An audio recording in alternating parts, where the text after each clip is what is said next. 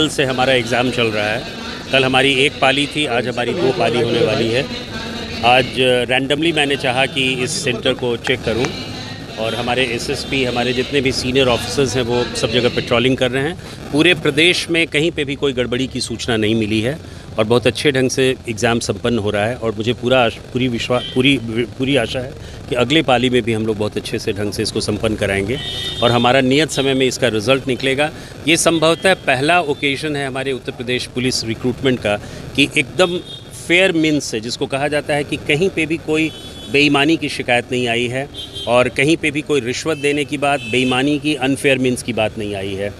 और कल हम लोगों ने जिन तीन सेंटर्स में दस लड़कों को पकड़ा है, उसकी भी गहन विवेचना हो रही है। हमारे एस ने तीनों जगह काम किया, एक इलाहाबाद में, दूसरा आगरा में और तीसरा सहारनपुर में।